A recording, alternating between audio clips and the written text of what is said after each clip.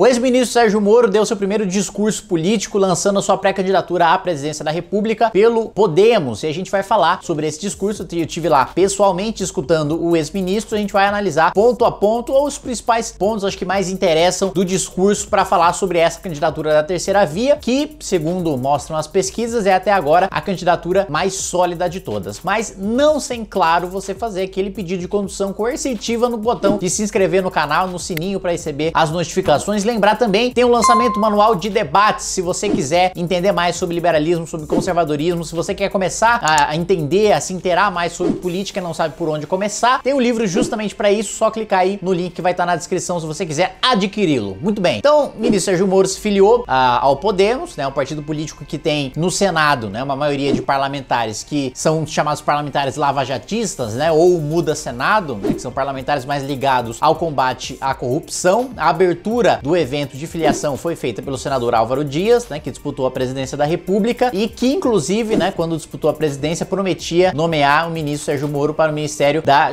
o juiz Sérgio, então juiz Sérgio Moro para o Ministério da Justiça. Mas vamos ao que interessa, vamos falar objetivamente sobre o discurso do Moro. Falou, evidentemente, sobre uh, o combate à corrupção, sobre sua trajetória pessoal, né, enquanto professor, né, enquanto juiz, sobre a sua atuação também junto à sua esposa, né? Falou que a esposa trabalha no escritório de advocacia, que sensibilizou ele para as questões de doenças raras, de pessoas com deficiência, né, trazendo mais a parte so social para o discurso, reforçando que saiu do governo Bolsonaro porque não teve aquela carta branca que foi prometida a ele para o combate à corrupção. O meu desejo era de continuar atuando como ministro em favor dos brasileiros. Infelizmente, não pude prosseguir no governo. Queria combater a corrupção, mas para isso eu precisava do apoio do governo e esse apoio foi negado. Quando eu vi meu trabalho boicotado, quando foi quebrada promessa de que o governo combateria a corrupção sem proteger quem quer que seja, continuar como ministro seria apenas uma farsa. Nunca renunciarei aos meus princípios e ao compromisso com o povo brasileiro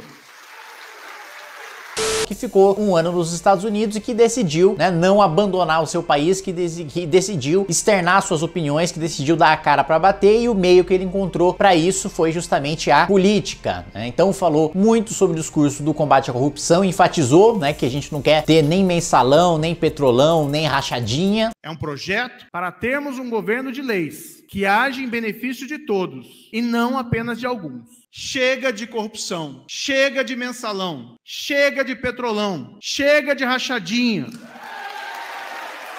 né, que justamente uh, defende na sua pré-candidatura à presidência da República a prisão em segunda instância, defende né, que você tenha política, você tenha forças-tarefas de combate à corrupção aos moldes da força-tarefa da Lava Jato, mas foi além disso e foi para uma parte que especialmente me interessava, que é a parte econômica, né? Falou sobre, defendeu a abertura comercial, defendeu uma modernização da nossa economia, defendeu uma reforma tributária, né? Que já passou da hora de a gente fazer uma reforma tributária de simplificação dos impostos. E ao olharmos para as reformas que estão sendo aprovadas, o que a gente percebe é que ninguém está pensando nas pessoas. Mesmo quando se quer uma coisa boa, como esse aumento do Auxílio Brasil ou do Bolsa Família, vem alguma coisa junto ruim, como calote de dívidas, furo no teto de gastos e o aumento de recursos para outras coisas que não são prioridade. Quando o governo resolve finalmente vender uma empresa estatal, como a Eletrobras, aprova junto uma série de jabutis. Precisamos reformar nosso sistema confuso de impostos.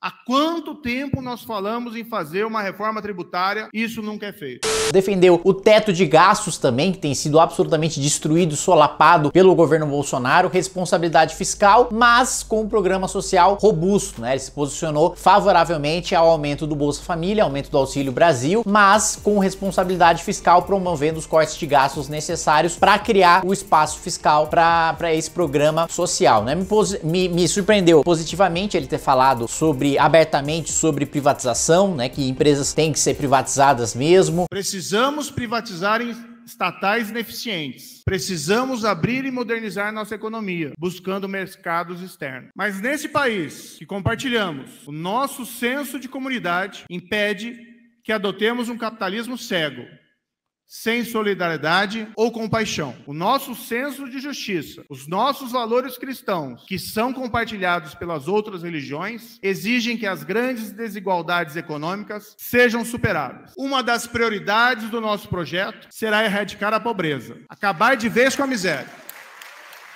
Falar também sobre abertura de mercado, ter falado também um discurso muito parecido com o Ricardo Paes de Barros, que é um, um economista liberal, mas conhecido por ter sido um dos arquitetos do Bolsa Família, dizendo que uma das dos seus principais objetivos vai ser erradicar a miséria, erradicar a pobreza com uma estrutura que nós já temos hoje, que são as estruturas dos CRAS, né, dos Centros Regionais de Assistência Social e que hoje né, implementam diversos programas e que podem, e tem uma, uma massa de pessoas, de profissionais de assistência social que podem ser melhor aproveitados, dando uh, ajuda para o cidadão na ponta que mais precisa, seja numa vaga numa escola, às vezes é uma mãe que quer trabalhar, que quer empreender e precisa colocar o filho numa creche, às vezes é um sujeito que quer empreender, mas precisa de uma assistência técnica para aquilo, não sabe como abrir uma conta no banco, não sabe como conseguir o um microcrédito. Enfim, é um discurso que, inclusive, eu li recentemente, né, um livro em que o Ricardo Paz de Barros participa com um artigo organizado pela Laura Miller, né, que é uma professora do INSPER, uma pesquisadora do INSPER que trata justamente sobre isso, sobre como o governo poderia ter utilizado o auxílio emergencial para criar um banco de dados extremamente rico sobre as necessidades, sobre as peculiaridades de cada família em situação de vulnerabilidade, mas jogou essa oportunidade no lixo. Enfim, né, Sérgio Moro defendeu uma visão é, é, da economia liberal, né, defendeu que o Estado não se intrometa na vida do indivíduo, defendeu que não haja essa interferência na economia e que o cidadão tenha liberdade para empreender. Um ponto que ainda falta na minha avaliação no discurso do Sérgio Moro é justamente tratar de governabilidade, é tratar de como implementar essas propostas. E eu acho que o que beneficia, uh, um ponto levantado por ele, que beneficia a governabilidade é defender o fim da reeleição. Né? Se um dos primeiros projetos de um Sérgio Moro presidente uh, uh, for